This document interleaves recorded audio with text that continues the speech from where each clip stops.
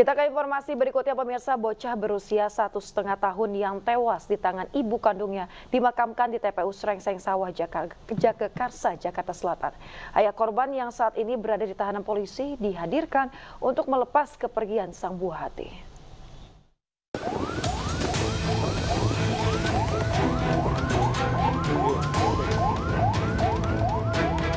Proses pemakaman adik kecil berinisial AK yang tewas di tangan ibu kandungnya sendiri berinisial YN diwarnai isak tangis keluarga. Ayah korban yang sebelumnya berada di rutan Polres Depok akhirnya diperbolehkan melihat jasad anaknya terakhir kali dengan pengawalan ketat anggota Polres Depok, Jawa Barat.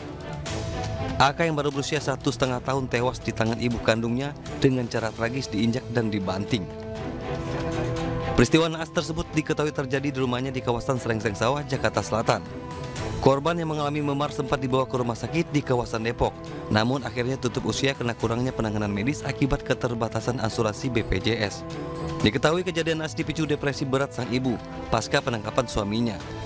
Terlebih pelaku mempunyai riwayat gangguan kejiwaan dan selama ini harus mengkonsumsi obat yang dibeli sang suami. Namun karena saat ini berada di balik jeruji, obat yang biasa dikonsumsi pun tak mampu dibeli.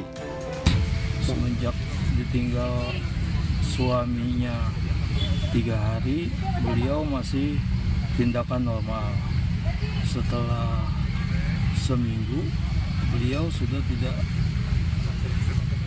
tidak normal lagi. Dia mulai uh, di kamar menyendiri. Pintu tidak dibuka. Keadaan anaknya pun nangis terus. Kita tidak tahu. Untuk sementara ini kita sudah mengamankan ibu anak yang dibantu. Ya, jadi di PPA dari kemarin sudah kita uh, keterangan-keterangan yang dibutuhkan oleh penyidik.